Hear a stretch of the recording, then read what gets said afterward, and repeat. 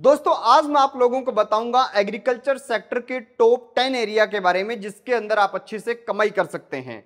मेरे बहुत से साथी जो हैं, वो ये सवाल पूछते हैं कि भैया, हमें एग्रीकल्चर में आना है, हमें फ़ार्मिंग करना है तो हम कौन से सेक्टर को चूज़ करें कि उसके अंदर हमें अच्छी कमाई हो सके? तो आज मैंने आपके लिए एग्रीकल्चर को दस भागों में डिवाइड कर लिया है, और हर भाग के बारे में बताऊँगा कि किसके अंदर कहाँ पे मुनाफा है और क्या उसकी लिमिटेशंस हैं। तो इससे आपको यह अंदाज़ा हो जाएगा कि आपको कौन से एरिया में घुसना है। हमारे जो यंगस्टर्स हैं, जो अभी अभी खेती करनी शुरू कर रहे हैं, उनके लिए ये वीडियो सबसे ज़रूरी है और जो लोग केवल मात्र ट्रेडिशनल खेती में घुसे हुए हैं, उनको भी वहाँ से निकलकर इस वीडियो को देख के थोड़ा विचार करना चाहिए कि हमें कौन से एरिया के अंदर ज़्यादा कमाई हो सकती है और ज़्यादा कामयाबी जो है वो मिल सकती है। तो दोस्तों, आपको मैं बता दूँ कि मैंने दसवें नंबर पर रखा है स्पाइस फ़ार्मिंग यानी मसाला की खेती। मसाला के अंदर आपका इलायची की खेती भी आ जाती है, लौंग की आ जाती है, काली मिर्च आ जाती है जय जायवित्री जायफल आ जाता है। और भी बहुत से मसाले हैं जिनके ऊपर हमने ऑलरेडी वीडियो बना रखी है और उसके थंबनेल कुछ ऐसे हैं जो आपको यहाँ पे स्क्रीन पे दिखाई दे रहे हैं। तो वो वीडियो आप चैनल पे जाके देख सकते हैं। दूसरे नौवें नंबर की अगर हम बात करें तो मशरूम फ़ार्मिंग जिसके अंदर बटन मशरूम पूरे भारत में सबसे ज़्यादा उगाया जाता है। और ओइस्टर मशरूम मशरूम की खेती जो है, इसके अंदर एक चीज़ ये है कि ये पूरे साल चलता है। मसाला की खेती की जब हम बात कर रहे थे तो वहाँ पे ये है कि वो कुछ एरिया के अंदर होता है।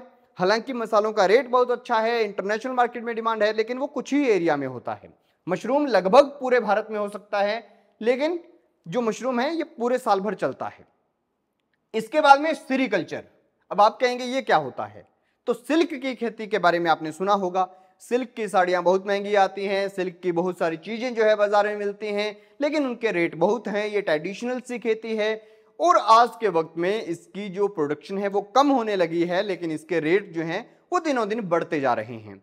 तो ऐसे में अगर कोई सिल्क की खेती करना चाहे तो ये वीडियो ज़रूर देखिएगा। बी कीपिंग अब आप कहेंगे कि मधुमक्खी पालन में कौन सा व्यवसाय है भाई? तो मधुमक्खी पालन को अगर आप शहद के लिए करते हैं तो ना कीजिए।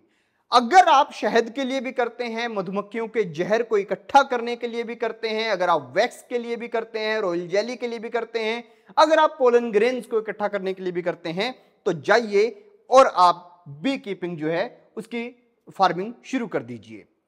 इसके बाद आता है medicinal herb and aromatic plants. ये जो है ना ये बाबा रामदेव के फ़ेमस होने के साथ साथ फ़ेमस होते जा रहा है। आज के टाइम में एग्रीकल्चर की दुनिया में, जो हमारे इलाके हैं, जैसे उत्तराखंड का इलाका, या फिर उत्तराखंड के साथ लगता उत्तर प्रदेश का इलाका, या फिर हम देखें कि पंजाब का जो पहाड़ी इलाका है, थोड़ा एरिया जो हिमाचल के आसपास लग जाता है, या हिमाचल का इलाका, जम्मू कश्मीर का इलाका, यहाँ पर बहुत बड़ी संख्या में जो है मेडिसिनल एंड एरोमेटिक प्लांट की खेती हो सकती है। और इसके अंदर बहुत अच्छी कमाई है। इसी के साथ आप जो है एक्वा कल्चर के अंदर जा सकते हैं। और एक्वा में तो हमारा हाल ये है कि आप चाहे क्रैब फ़ार्मिंग ले लीजिए, चाहे श्रिम्प फ़ार्मिंग ले लीजिए श्रिम्प का तो हमारा खुद का प्लांट है, उसको भी आपने देखा होगा वीडियोस में। इसी के साथ आप लोग चाहे फ़िश फ़ार्मिंग ले लीजिए, इन चीज़ों के अंदर आप एक चीज़ नोट करेंगे कि एक्वा के अंदर जितनी डिमांड भारत की है, भारत खुद की डिमांड भी पूरी नहीं कर पा रहा है। इतना बड़ा सेक्टर है ये। इतना बड़ा सेक्टर है कि आज के वक्त में सरकारें 50 50 60 60 परसेंट सब्सिडी दे रही है ताकि एक्वा की जो डिमांड है वो पूरी हो सके। तो आप ये भी कर सकते हैं। इसी के साथ हॉर्टिकल्चर एंड फ्लोरिकल्चर के अंदर जा सकते हैं। यानी कि बागवानी और फूलों की खेती के बीच में। और मैंने इनको ज्वाइंट इसलिए बताया है कि अगर आप बाग लगाते हैं और अकेले बाग के अंदर आप कमाई सोचते हैं तो नहीं होने वाली। कभी होगी, कभी कम होगी। लेकिन अगर आप बाग भी लगाते हैं और उसके बीच में अच्छा डिस्टेंस मेंटेन करके जो आपने रखा होता है बाग के बीच में, उसके अंदर अगर आप फ्लोरिकल्चर भी करते हैं तो इससे पोलिनेशन बढ़ता है, इससे फूल की खेती भी साथ में हो जाती है पोलिनेशन भी बढ़ जाता है और इससे जो फ्रूटिंग है, वो भी बढ़ जाती है।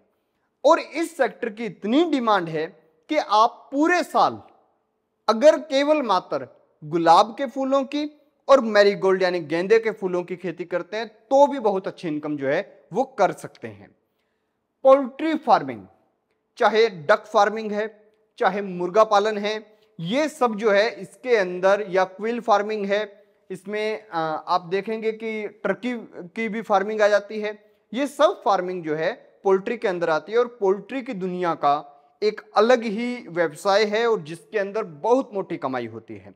अब बात आती है ऑर्गेनिक फ़ार्मिंग की। तो ऑर्गेनिक के सेक्टर में दो सेक्टर हैं। एक ऑर्गेनिक लाइव स्टॉक जिसके लिए मैंने वीडियो बनाई थी। अब लोग पूछते हैं ना, ऑर्गेनिक लाइव स्टॉक क्या होता है? तो वो देख लीजिएगा। और एक है ऑर्गेनिक फ़ार्मिंग। तो आप लोगों को बता दूँ, ऑर्गेनिक की डिमांड दिनों दिन बढ़ भी रही है और ये सेक्टर भी बहुत बड़ा है। अगर आप ऑर्गेनिक लाइव स्टॉक में काम करते हैं तो मैं शर्त लगा के कहता हूँ कि ग्राहक अपने आप आपके पास आएगा। इसको समझिएगा। और इसके बाद में भारत का वो सेक्टर दुनिया का वो सेक्टर जिसके अंदर सबसे बड़ी कमाई हो सकती है, जिसके अंदर सबसे ज़्यादा प्रॉफिट है, कामयाबी है और लंबा चलने वाला है वो वो है डेयरी फ़ार्मिंग अब आप कहेंगे कि क्या डेयरी फ़ार्मिंग में अच्छी कमाई होती है? तो आप लोगों को बता दूँ, अगर भारत को 10 लीटर दूध चाहिए तो यहाँ पर प्रोडक्शन केवल मात्र 6 और 7 लीटर दूध की होती है। तो बाकी दूध आता कहाँ से है? और इसी के साथ भारत दुनिया का सबसे बड़ा मिल्क प्रोडक्शन करने वाला कंट्री भी है।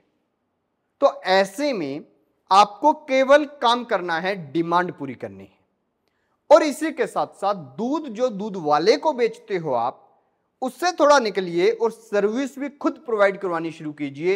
अगर डेयरी के अंदर कमाई ना हो तो मुझे बताइएगा। डेयरी सेक्टर भारत का सबसे बड़ा सेक्टर है और आज के वक्त में बताया यह भी जाता है कि जैसे जैसे लोग खानों को लेकर अवेयर हो रहे हैं, वो खाने को लेकर पैसे का नहीं सोचते कि कितना खर्च होता है, वैसे वैसे मिल्क की जो डिमांड है, वो और बढ़ने वाली है, इसके अंदर कमाई और बढ़ने वाली है प्रॉफिट और होने वाला है। तो आप डेयरी की दुनिया में भी कदम रख सकते हैं। खैर दोस्तों, ये वीडियो आपको कैसी लगी कमेंट सेक्शन में ज़रूर बताएँ और मुझे उम्मीद है कि ये सब सुनने के बाद और उसके बाद हमारे चैनल पे जाके हर सेक्टर की वीडियो को एक्सप्लोर करने के बाद आपको ये नॉलेज मिल जाएगी कि आपको करना क्या है। खैर, देखते रहिए एबीसी इंडिया